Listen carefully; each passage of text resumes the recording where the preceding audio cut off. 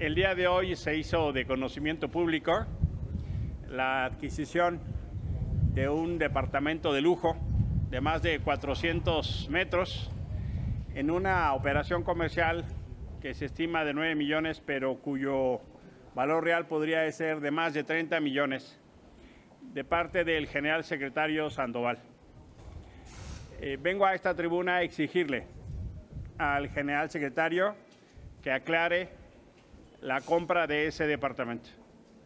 Da lugar no solo a la, eh, conflicto de intereses, porque este departamento ha sido adquirido por una proveedora de la Secretaría de la Defensa Nacional, unas proveedoras, una empresa proveedora cuyo representante legal es un ex militar. Si es cierto que la venta está realizada con un precio menor a una tercera parte, lo que estamos viendo esencialmente es un acto de corrupción. Le exigimos al general secretario que en un acto de transparencia y honestidad republicana explique el vínculo que tiene con esta empresa proveedora en la Secretaría de la Defensa Nacional. No es admisible que los altos mandos estén involucrados en hechos de presunta corrupción de esta magnitud.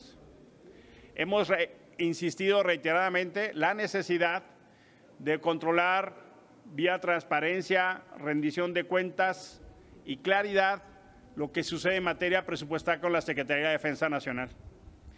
Este gobierno, el gobierno de Andrés Manuel López Obrador, se ha caracterizado por la opacidad y la falta de transparencia, en particular un trato privilegiado y de excepción a los titulares de las Fuerzas Armadas y a la élite militar.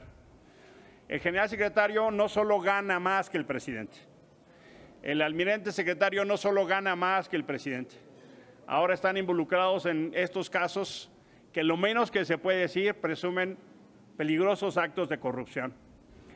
Por eso es tan importante que se aclare, porque si esto no queda claro, lo que tenemos de indicio es que el cáncer de la corrupción ya entró a la élite militar.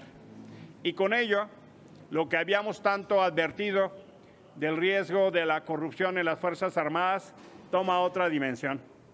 Hemos advertido del peligroso trato donde ahora las Fuerzas Armadas tienen un trato privilegiado creando empresas, recibiendo renta nacional y teniendo un estado de excepción en el manejo de la información.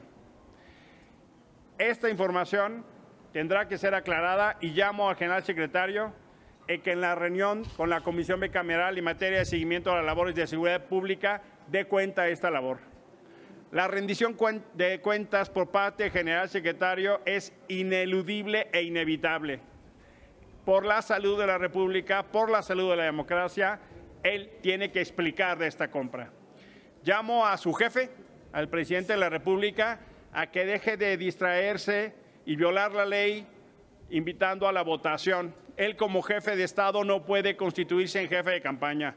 Llamo al presidente de la República que deje de distraer en listitas de candidatos. Dedíquese a controlar las Fuerzas Armadas, presidente. Los actos de corrupción del Marajá secretario que viaja con su familia con cargo al erario público y ahora con este departamento de lujo son solo un par de inicios que hacen saber de un peligroso cáncer de corrupción que está ya instalado en las Fuerzas Armadas, al menos en la élite. Este hecho es de una extraordinaria gravedad, es inaceptable en un país democrático y es indispensable que el comandante de las Fuerzas Armadas se dedique a su labor y deje de estar distrayendo en procesos electorales violando la ley.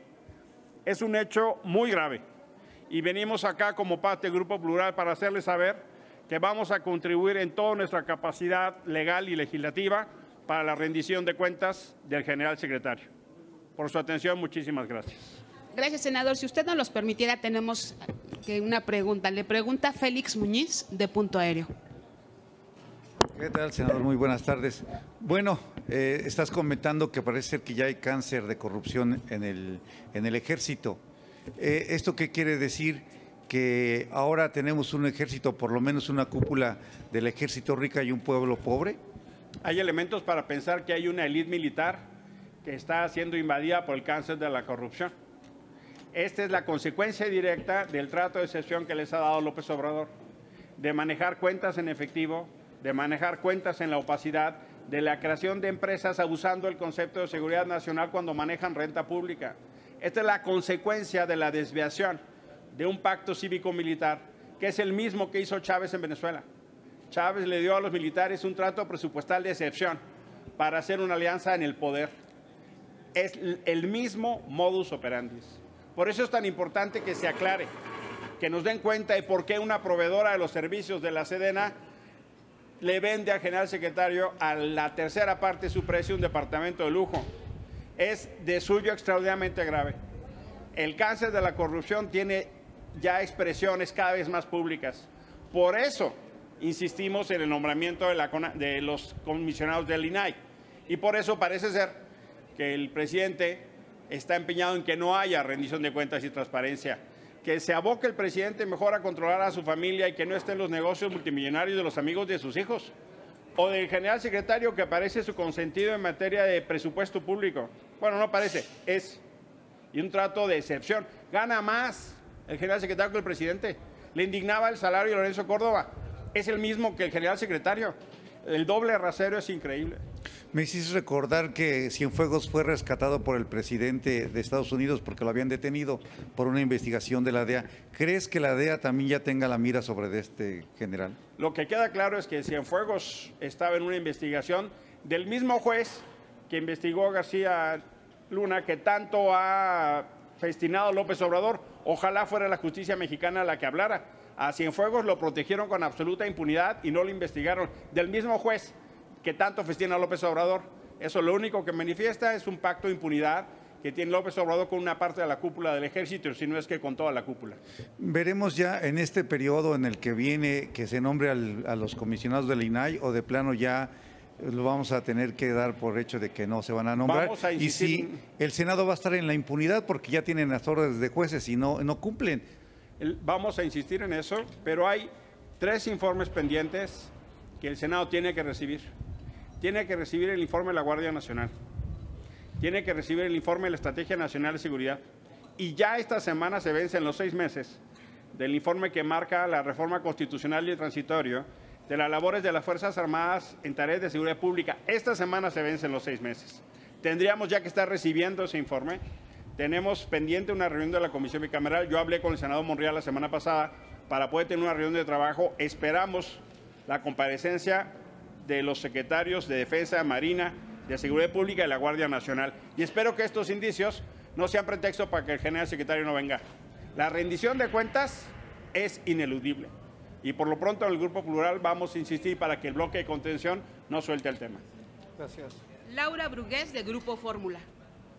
¿Qué tal, senador? En otros temas me gustaría preguntarle su opinión sobre la reacción del presidente cuando le cuestionaron sobre la falta de apoyo a los deportistas. Bueno, teniendo en cuenta este contexto de las eh, competidoras de nado sincronizado que ganaron el oro y la excusa de él fue decir que pues seis de ellas pertenecían a la Sedena y pues no dio razón alguna o bueno, sigue como tema pendiente esta, esta corrupción que hay en la CONADE. Gracias.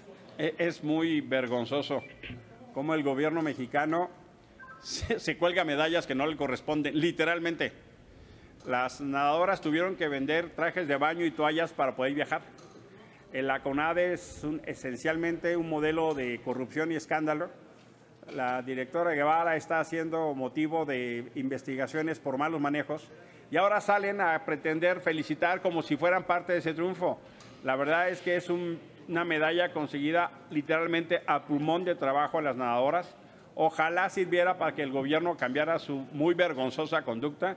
A mí me parece extraordinariamente vergonzoso que estas chicas que ganaron, incluso viajaron con propio esfuerzo y gracias a que particulares les apoyaron, y ahora viene, resulta, a ponerse la medalla como si hubieran ayudado.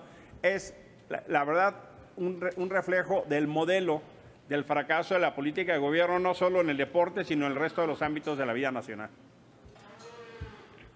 Pues no tendríamos más Muchas gracias, que tengan muy buen día. A usted, buenos días.